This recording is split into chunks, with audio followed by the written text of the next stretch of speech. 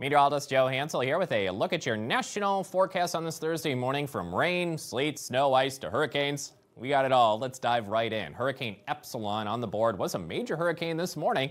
Is now down to a Cat 2 in that yellow area in the northern Bahamas. Five days, there's a low chance of tropical development there.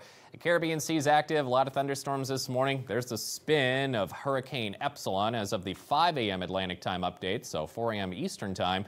It's a Cat 2, will work east of Bermuda over the next two days causing wind, rain, and surf concerns out there across the nation. Ugh. A lot of colors of rain, storms, freezing rain accumulation affecting portions of the Dakotas, Minnesota, Wisconsin today, and also some very heavy snow. Areas up to the north, drive safely. We got a lot of snow issues up in the mountains of the Cascades, Rockies, bleeding into the lower elevations as well. Cities like Billings through Saturday, over 8 inches of snow is a possibility. Minneapolis, not much for snow, but freezing rain and sleet accumulations possible. We got winter storm watches, winter weather advisories, winter storm warnings all over the place into the southwest U.S.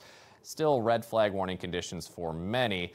Uh, wildfires will be ongoing for much of the southwest. For severe weather, for areas uh, from Iowa down towards the Texas Panhandle, damaging winds, large hail, a couple of tornadoes can't be ruled out spinning today in areas of eastern Iowa with that weather maker still powering through.